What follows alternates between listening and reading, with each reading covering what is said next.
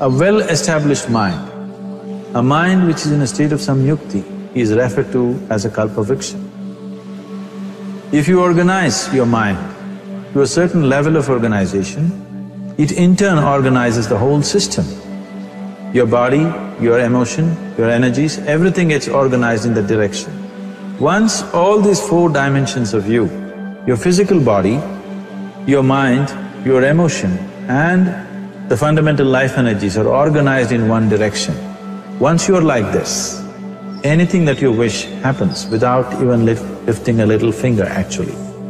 It would help to assist it with activity, but even without doing any activity, you can still manifest what you want if you organize these four dimensions in one direction and keep it unwavering in that direction for a certain period of time. Right now the problem with your mind is, every moment it is changing its direction. It is like you want to travel somewhere and every two steps if you keep changing your direction, the question of you reaching the destination is very remote unless it happens by chance.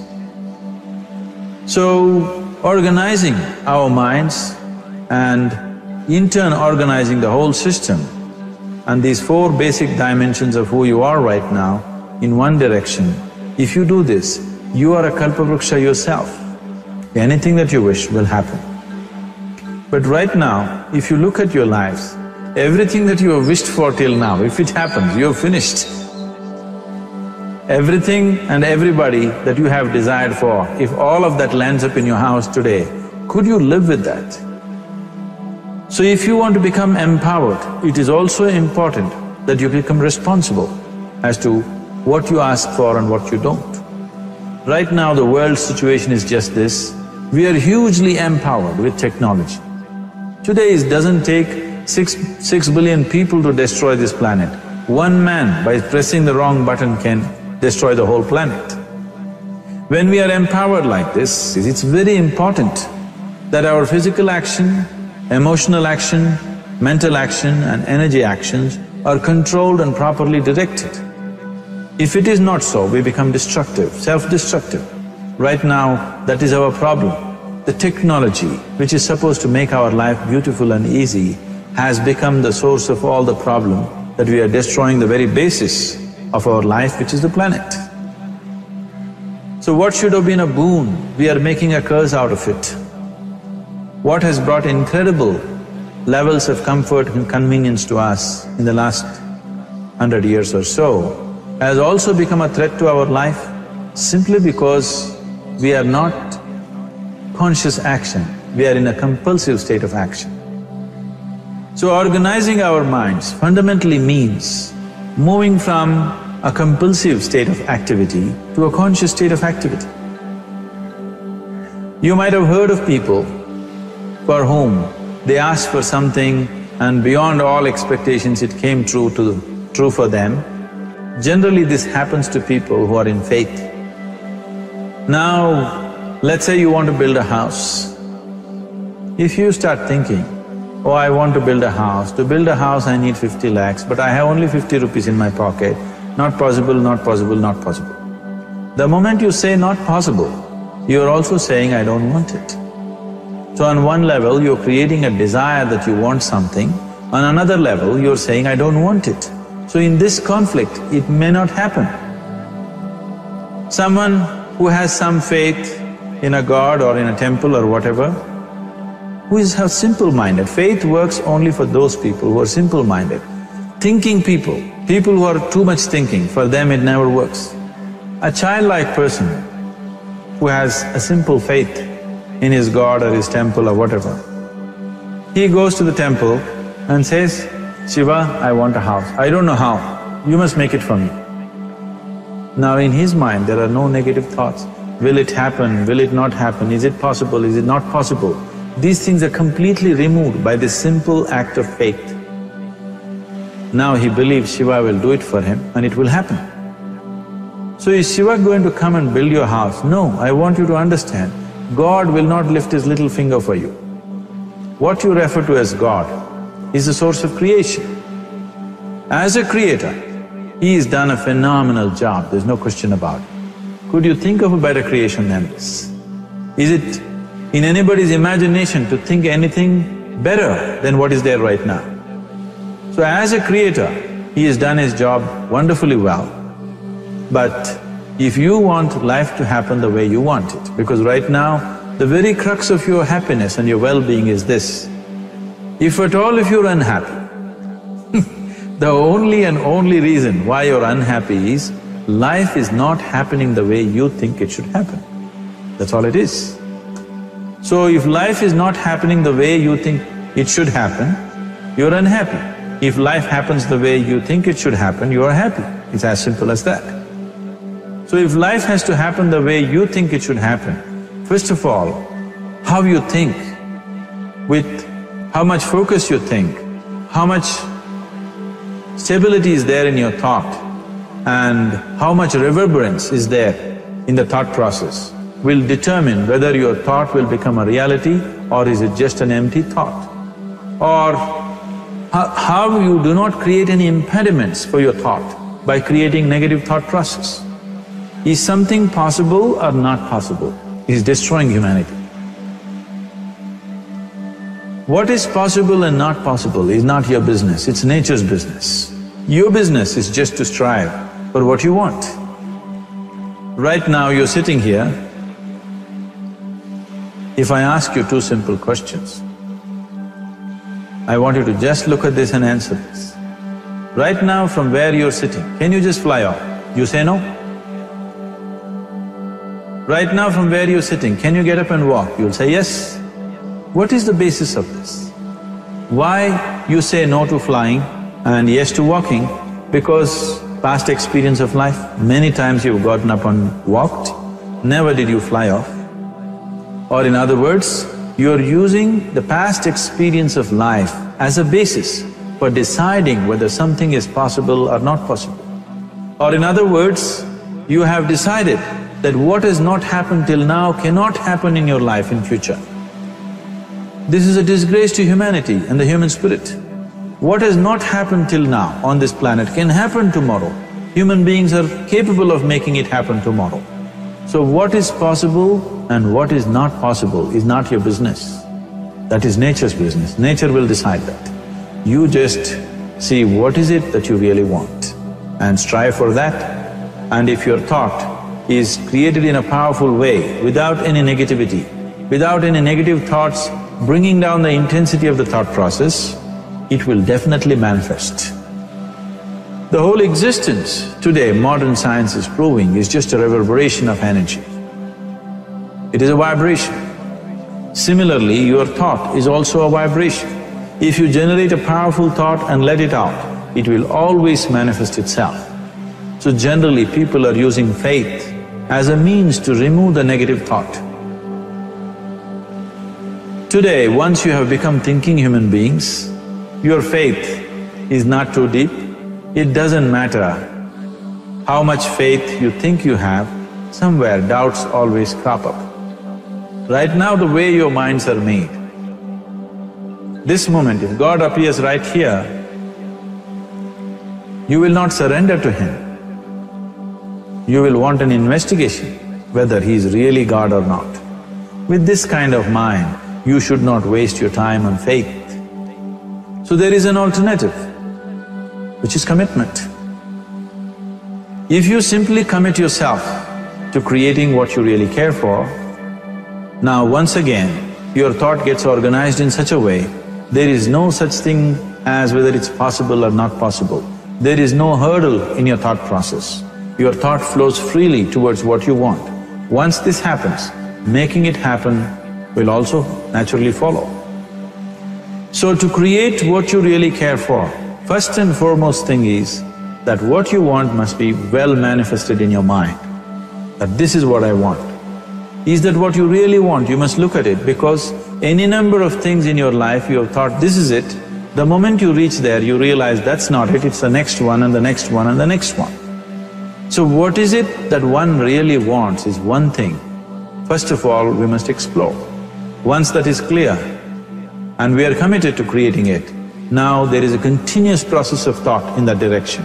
Once you can maintain a steady stream of thought without changing direction, definitely this is going to happen in your life or it will definitely manifest as a reality in your life. So, either you make this human form into a kalpa vriksha or you make it into one big mess, which is happening all over.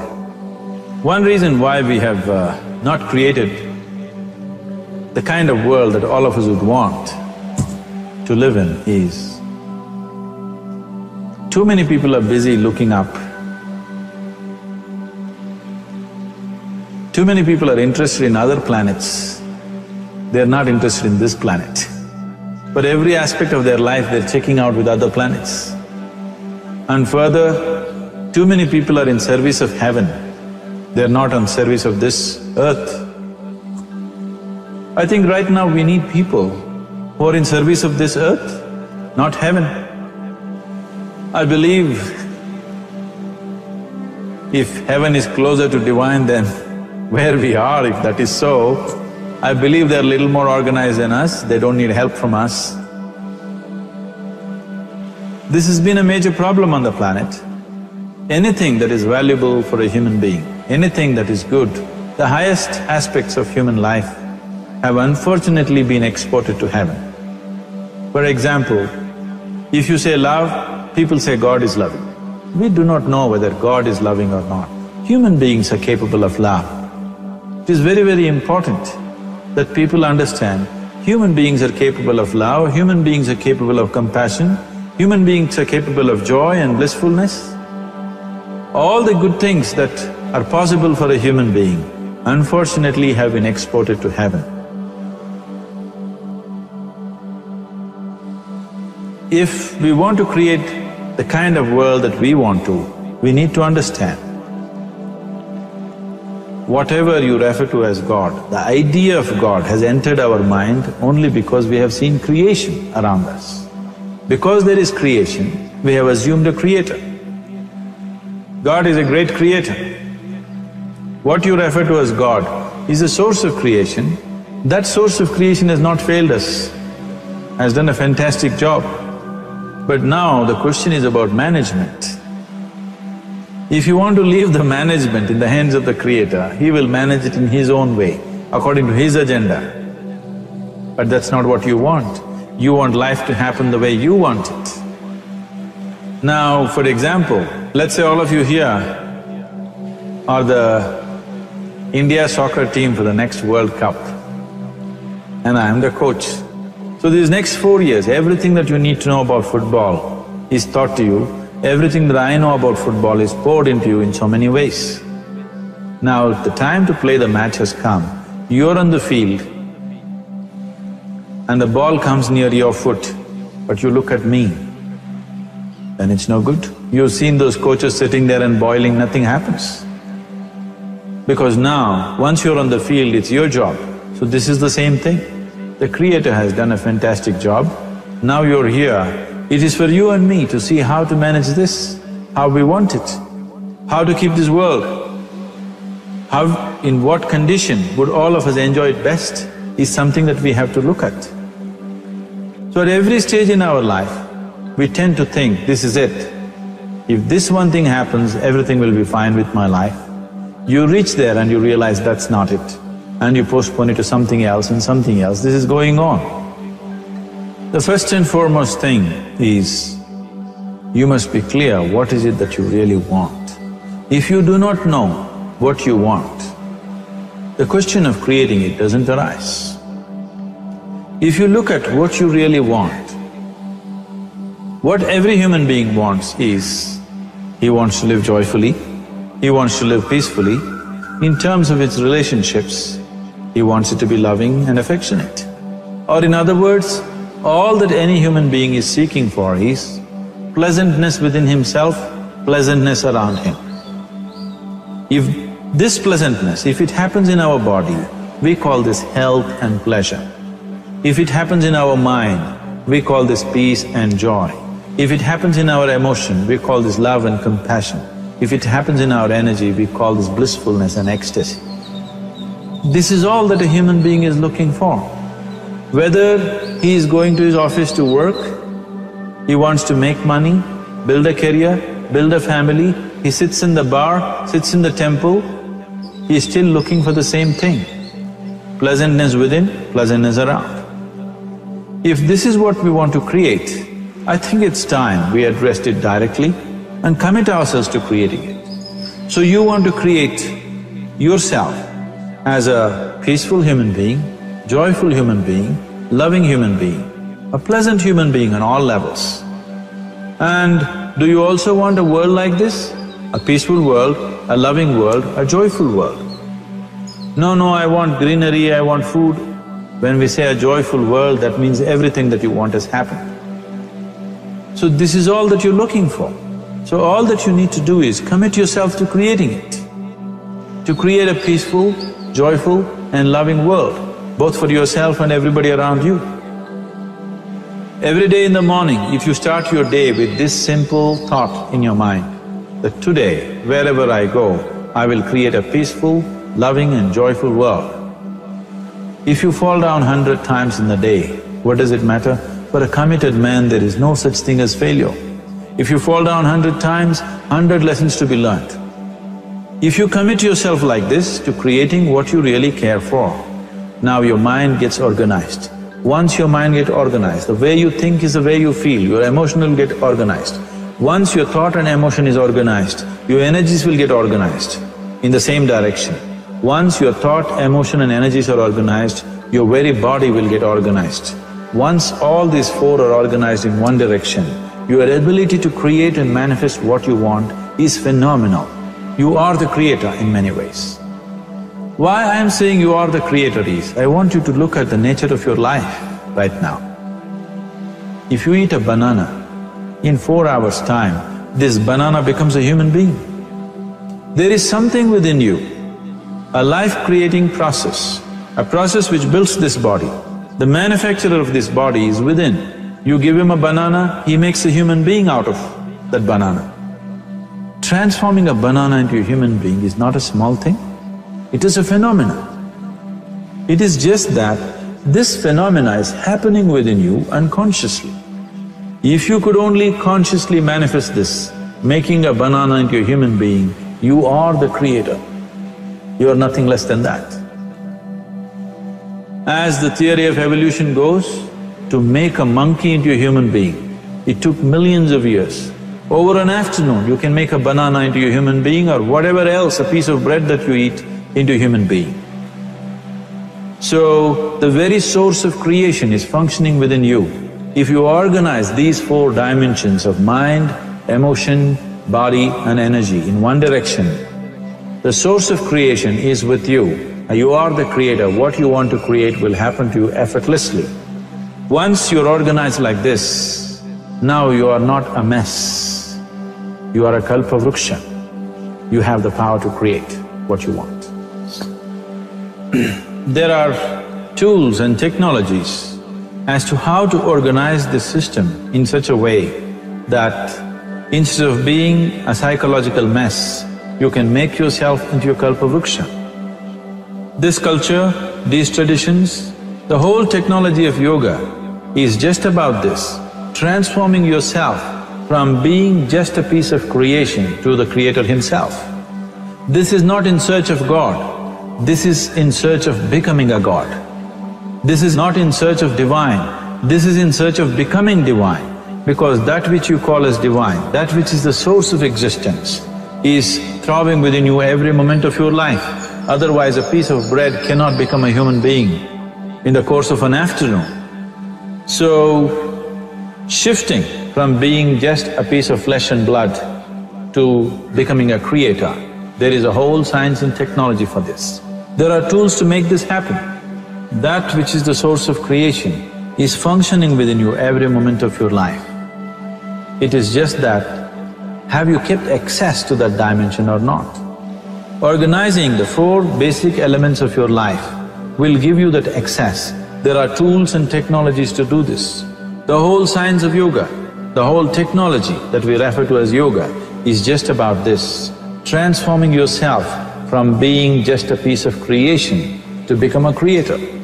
For example, hundred years ago, if I picked up something like this and I start speak speaking to someone who is across in another part of the world, you would think it's some kind of a miracle. Either I must be a messenger or a son or maybe God himself. But today, this is just another gadget that every one of us carry and use. Today sitting here, without using this instrument, if I speak to someone, someone in another part of the world, it is still a miracle for you. So, this instrument happened uh, because of human mind wanting it to happen. Hundred years ago, nobody thought this was possible, but today it is just a common thing. Similarly, many, many, many things which are not in our perception yet can be brought into our perception and our ability to create our lives can be greatly enhanced. So first and foremost thing is to organize the mind and to organize your emotions, body and energy in that line. Once this happens, you are in touch with the fundamental life-creating process within you. Once you're in touch with it, once you're in excess of that power, you have the power to create.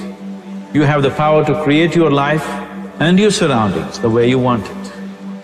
Because we have lost our power to create, we are making a mess out of ourselves and the world around us.